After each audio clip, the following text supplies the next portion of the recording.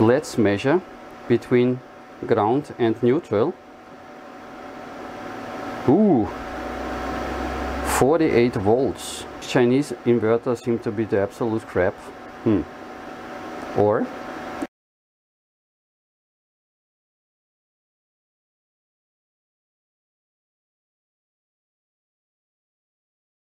Hi, my name is Roland and on my channel we are doing a lot with solar PV and battery storage, off-grid, on-grid systems and all these kind of things. And today we have to speak about a topic which is overlooked very easily inside the DIY community because it's typically the job of the licensed electricians which will try to do this the best as they can according your code in your country. So what is it about?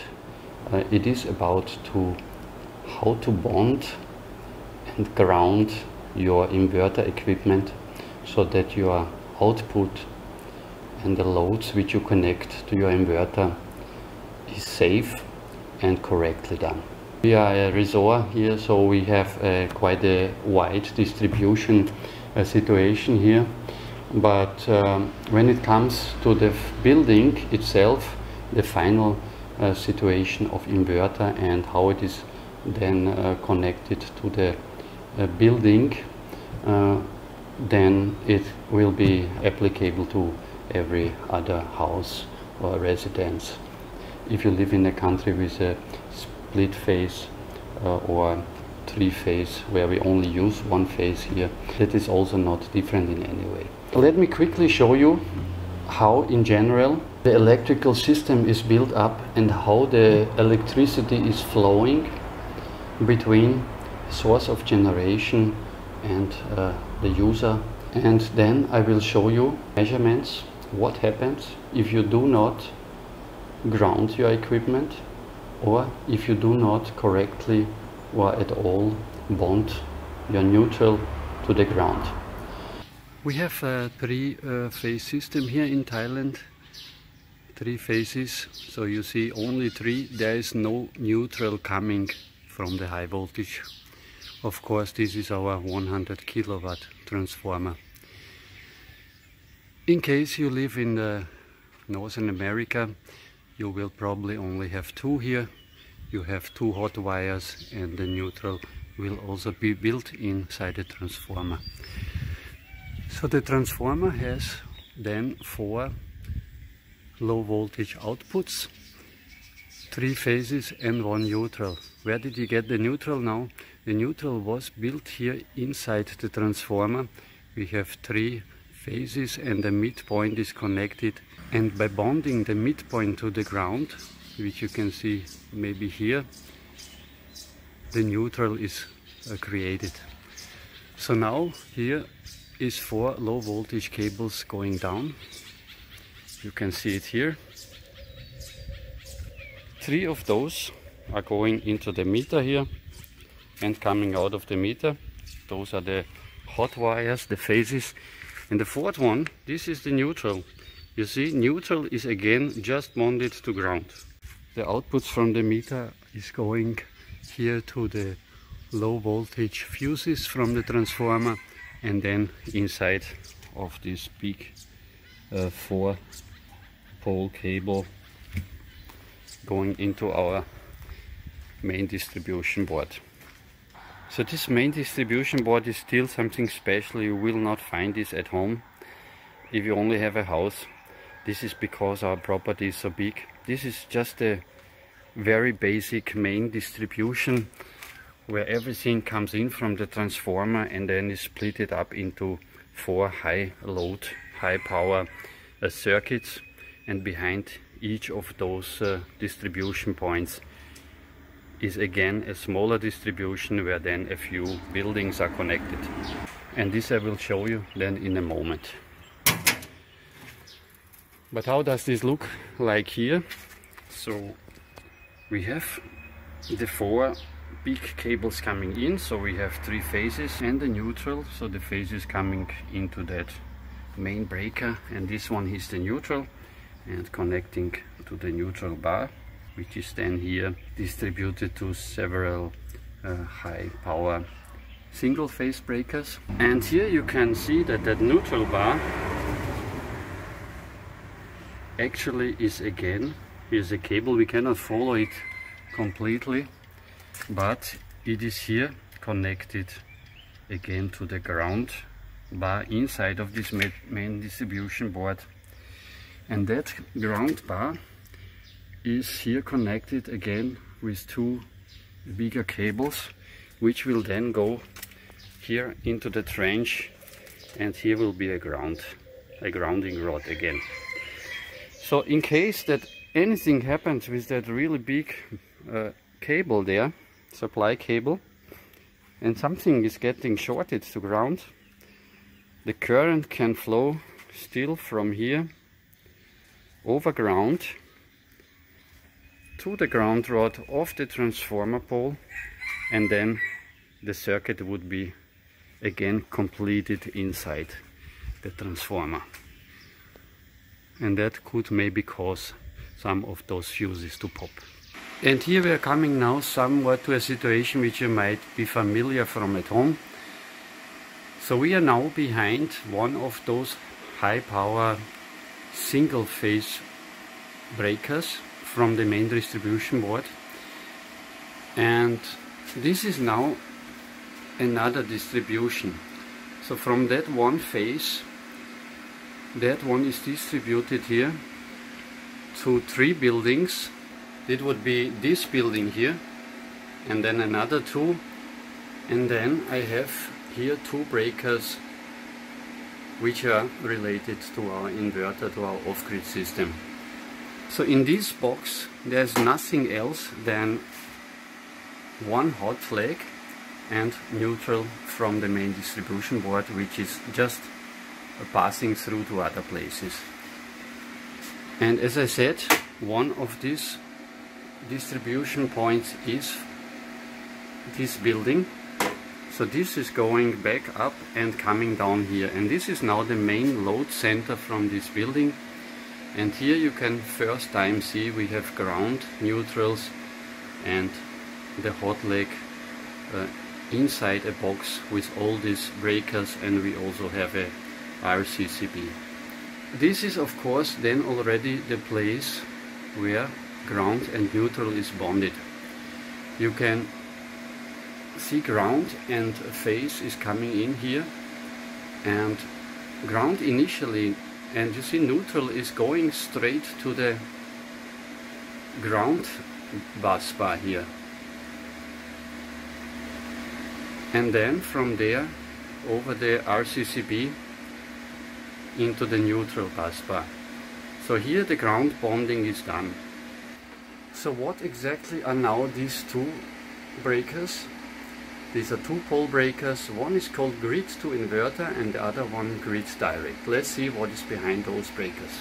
The first breaker, which is called grid to inverter, is going into the AC in input of this hybrid inverter. So it's very important that the source of power is a distribution box, not a load center, right? If this would be a breaker here inside behind the RCCB, the system could not work. It's very important. The second breaker, grid direct, goes to my transfer switch. Transfer switch grid side is my reserve power. So the inverter output, AC output here goes on the normal of the transfer switch.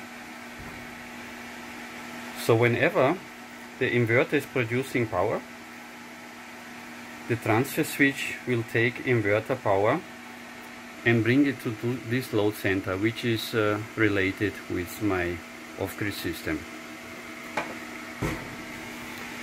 If the power fails on this side, the transfer switch will automatically switch over to grid and get the power again from this distribution box here. This comes straight from the main distribution board distributing power to either here where it goes to here or from there going directly to the other side and if this fails it switches to this and it goes to here. Where does the inverter get its grounding from? Nothing else than from the ground here in this building. Inverters are never bonded ground to neutral inside the device so you have to make the bonding outside. And that is the reason why you have to follow code of your country. In different countries this might be done differently. So my inverter gives out AC hot and neutral goes over the transfer switch and brings the hot and neutral here into this box and the neutral bar is here bonded then again to ground. So now somebody who have uh, carefully listened and watched this will say well, what happens when the transfer switch is changing to grid power?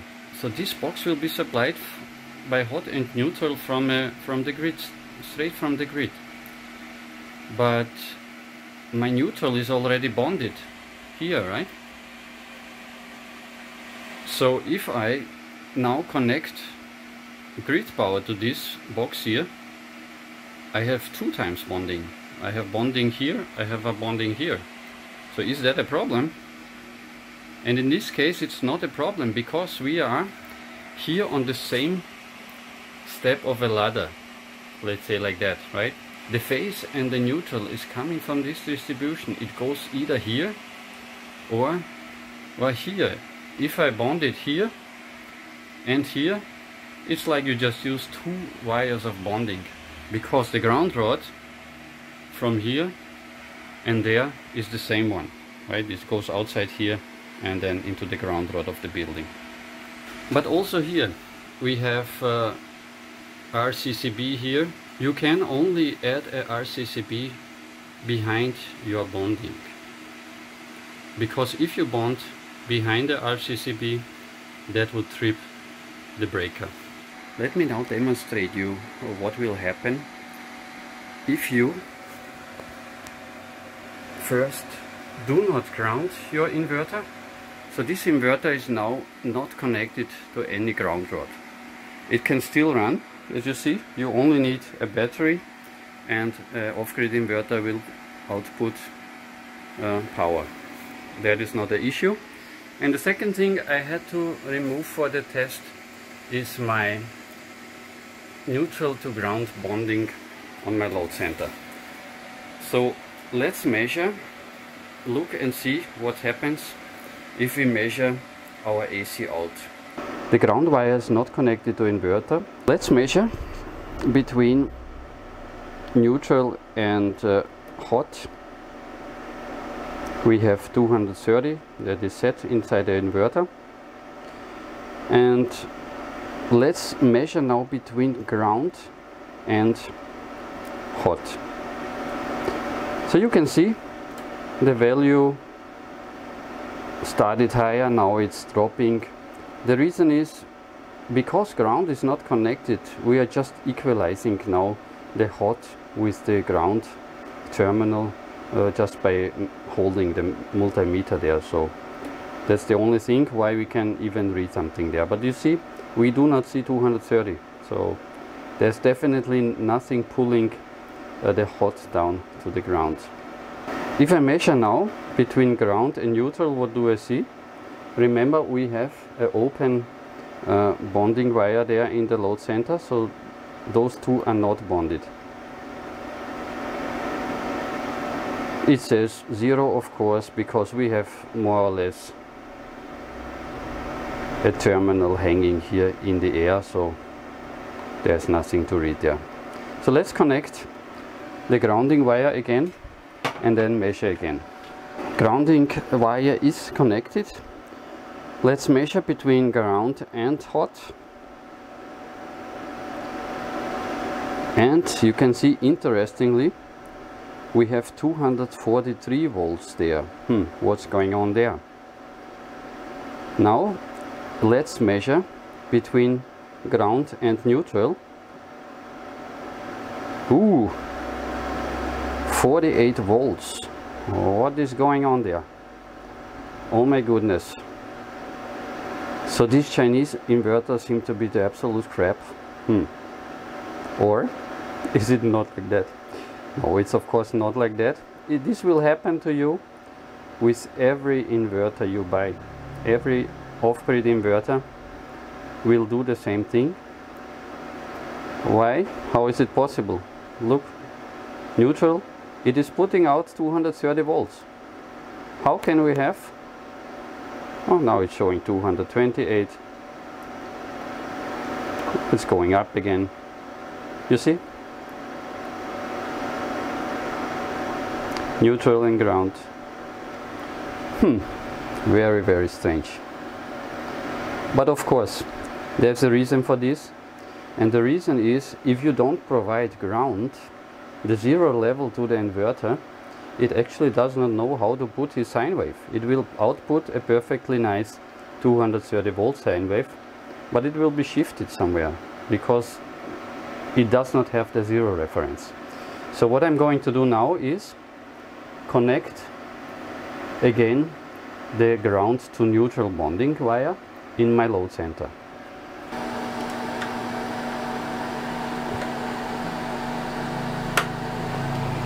And the bonding is now done. Okay now we can measure again. Ground neutral is bonded. Ground is provided to the inverter so let's measure. Neutral to hot 230 let's measure ground to hot 230 and now let's measure ground to neutral zero everything is exactly like it should be. Okay, so I will close the system up here and we have a quick talk of what we have to uh, be careful whenever we connect and use a off-grid or hybrid inverter. Many people, if they buy the um, equipment, they just see the terminals and they just connect the cables and they think everything is fine. You know, because just because the inverter does have a grounding terminal does not mean that, it, that the grounding behind is done. If you, it's actually opposite, the opposite way around. The grounding terminal is there for you to provide grounding to the inverter. The equipment will run perfectly fine. You just need to connect a battery to a off-grid or hybrid inverter and it will output your AC sine wave. The inverter at the end does not care if you grounded it, if you connected all the wires according your code and if that job is done in a safe way. Why does the inverter company not already bond, let's say ground and neutral inside the inverter? Well, the reason for that is that there is several different grounding systems in the world so different regions, different countries can have different codes how to do it. And the inverter company, of course, does not want to uh, have anything to do with this. They just want to uh, give that job to your local electrician, to the operator. How the final installation is done is just 100% uh, the responsibility of the operator. When it comes to ground neutral bonding, there is a few rules. First rule, when you have two power inputs, one is your grid and one is an inverter, they must be on the same level. The same source behind, if, you, if it's a hybrid inverter with an AC in, that AC in must be essentially the same which is your grid input and then you split it up with a transfer switch and you go from either from that side or from that side. If you do the bonding two times as I have to do in my system also very important that the source of the power is from the same level and the grounding also comes from the same place because then it's just an interconnection it is exactly the same thing. The second very important rule is you cannot feed in behind the RCCB breaker. A safety breaker will always trip immediately if you connect ground to neutral behind it. So the entry point to your load center, wherever you then distribute, if this is now your main load center or if this is just a essential load center, where you just use your inverter to normally run those loads there, both entry points must be the primary entry points from grid and from the inverter. You cannot use the grid feeding into the load center and the inverter coming through a sub-circuit somewhere. Right, because this will immediately trip the RCCB. These are the two main rules. If you have a pure off-grid system, like you have a RV and you have an off-grid inverter there, make your grounding whenever you switch on your system connect a ground rod somewhere outside of your RV and ground the inverter. If you use an off-grid inverter just to connect a cable and then work with a tool, you have your battery, inverter, your tool. Always don't assume that just because you connected a cable to a ground terminal, this is also giving you a ground connection. So you really need to physically connect your inverter to the ground. And in case that you really just connect one cable and you work with a tool there, there you can then make a ground bonding between neutral and ground straight at the inverter. You really have a safe tool in your hand when you just do something like this. As you saw in today's video, this is a quite complex uh, topic if you do hybrid or off-grid uh, installation by yourself and you are not sure about how to correctly ground your system and bond your system ground to neutral, then please get your advice from a certified electrician in your uh, place and they will help you out. I hope you found it interesting and that I could uh, clear this situation a little bit up uh, please comment, like the video, subscribe to the channel and I see you next time.